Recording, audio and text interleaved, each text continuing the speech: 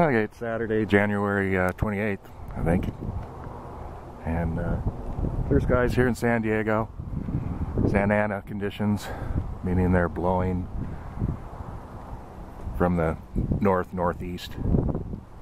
And it get pretty windy at times. It was pretty windy last night. And it usually forms what happens is that the normal pattern of a high pressure system was after a low pressure came through which would be like a normal storm that would come down out of the uh, northern Pacific and behind it would fill in a high pressure uh, what we call over here the Four Corners which is Nevada, Utah, uh, Colorado and Arizona and a high pressure forms out over there and creates the uh, Santa Ana offshore winds. And that's what we got going on now. But it just doesn't Seem like it. What are you doing, Blue? Where's your partner in crime? Anyways. But our weather patterns are nothing like they used to be. I used to follow the weather pretty closely. I used to windsurf and you'd have to uh, read the weather to know where the wind was going to be blowing, whether it was an inland, inland lake over on the coast in the ocean.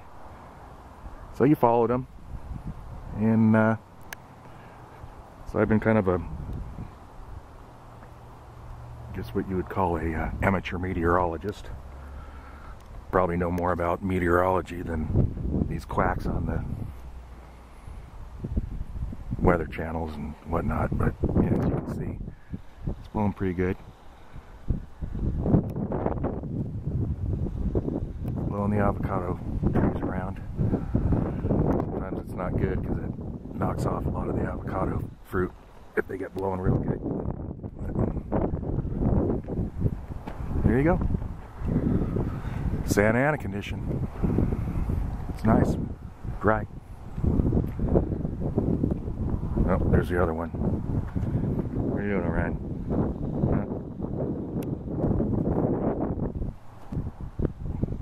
Boys stay out here. You don't need to be inside all day.